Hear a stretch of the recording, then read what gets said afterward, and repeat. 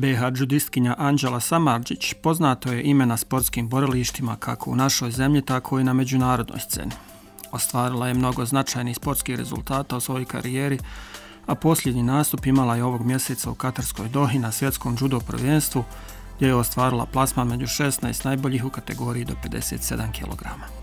U mojoj kategoriji je bilo e, preko 50 takmičarki. Ja sam uspjela ostvariti dvije ubjedljive pobjede, a u trećoj rundi sam nažalost bila poražena od predstavnice Turske. E, I u tom meču sam imala onako popriličnu prednost e, u odnosu na nju, međutim napravila sam jednu malu grešku.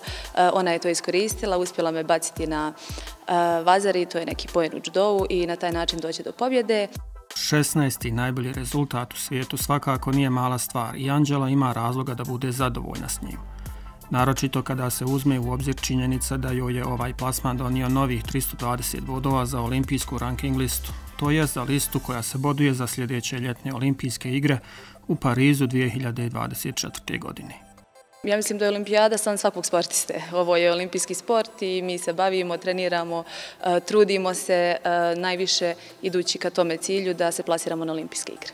U mojoj kategoriji na olimpijadu može ići možda nekih 25 takmičarki, sve još uvijek nije e, tačan broj određen. Ja zauzimam neko 40. mjesto trenutno na svjetskoj ranking listi, tako da su poprilično dobri izgledi da bih mogla ispuniti normu. Anđela je član judo kluba Bosna i Sarajeva. Kluba sa velikom tradicijom na judo takmičenjima još od njegovog osnivanja davne 1960. godine.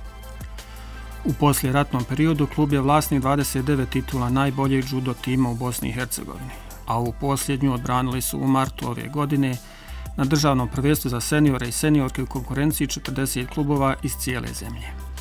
Početak eh, marta je održano državno prvenstvo Bosne i Hercegovine gdje je judo klub Bosna po 29. put bila najbolja ekipa u ženskoj, muškoj i sveukupnoj e, konkurenciji.